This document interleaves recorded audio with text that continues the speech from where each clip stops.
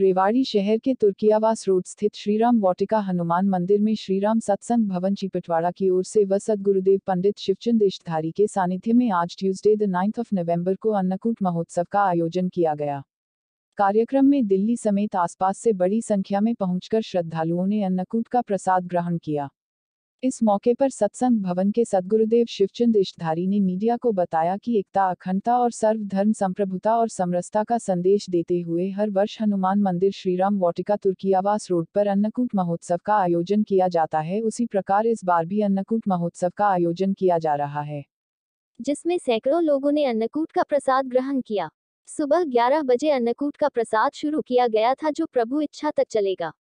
उन्होंने बताया कि वैसे तो दिवाली के अगले दिन गोवर्धन पर मंदिरों में अन्नकूट का प्रसाद वितरण किया जाता है, लेकिन अयोध्या में आज के पंचमी के दिन अन्नकूट महोत्सव मनाया जाता है, क्योंकि दीपावली के दिन भगवान श्री राम का राजतिलक हुआ था और पंचमी को उन्होंने समस्त अयोध्या वासियों को निमंत्रण दिया था, इसलिए कई सालों से यह परंपरा चली आ रही है और दीपावली के बाद पंचमी को अन्नकूट महोत्सव मनाया जाता है।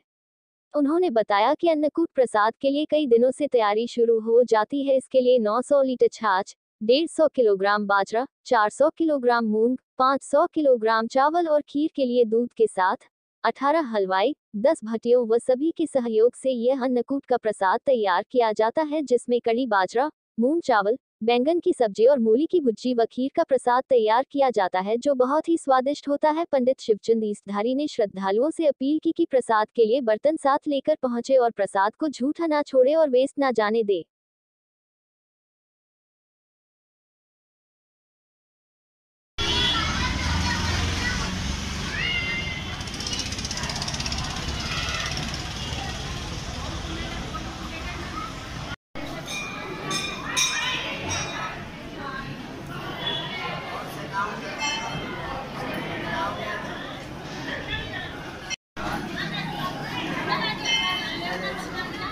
ये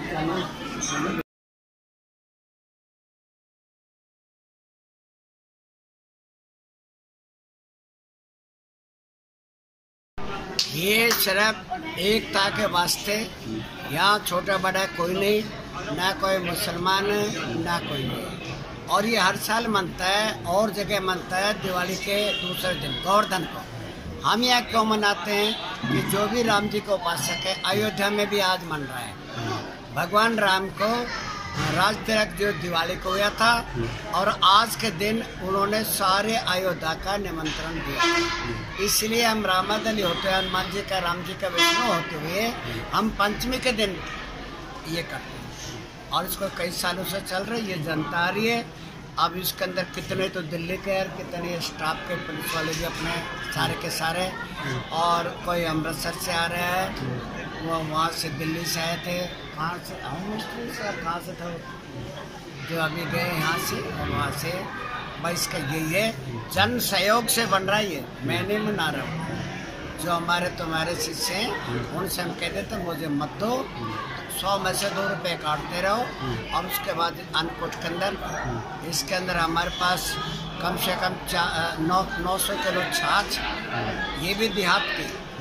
बाज़ार के अंदर तो उसके बनाते ही। ऑर्डर की दिहाड़ी के अंदर है ये देहात में तीन दिन पहले ड्राम भेज देते हैं। राजस्थान में सब बड़े बड़े इकट्ठे करते हैं। और इसके अंदर डेढ़ सौ किलो बाजरा जो हमने करा है। और चार सौ साढ़े चार सौ किलो मूंग पाँच सौ किलो चावल और पाँच सौ किलो की खीर बनी है दूध की। वहाँ हलवाई लग रहे हैं। दस भट्टियाँ चल रही है अट्ठारह उसमें हलवाई है। और लगभग लगभग ये सारी जनता ये ये सिर्फ़ प्रसाद के लिए, ना कि खाने के लिए। प्रसाद की महिमा पार है।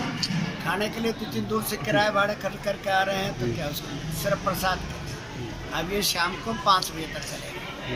जो आदमी ड्यूटी से आएँगे, शाम को जैसे गए और शाम को पाँच छः बजे, मेरे ख्याल पाँच, सात सौ आदमी ड्यूटी वाले ज़रूर आते हैं शाम में फिर आठ बजे के बाद हम इसको दो मानते यही छोटा सा प्रोग्राम है, ये। मतलब हमने किया तो था लेकिन आम जनता को नहीं बुलाया।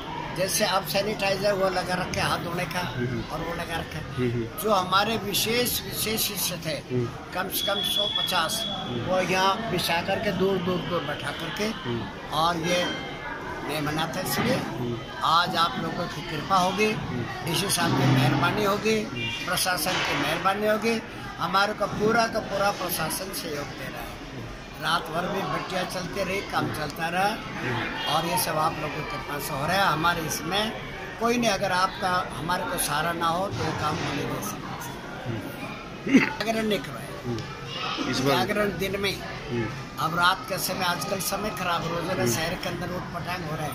ना जाने कोई खा पी करके आ जाए किसी घर बेटी को छोड़ दिया हमारे नाक कट जाए हम्म, जगह हम शांति के उपासक है कलेश के। अगर कोई बिगड़ता भी उसको हाथ जोड़ के खुआ करके पूजा भाई।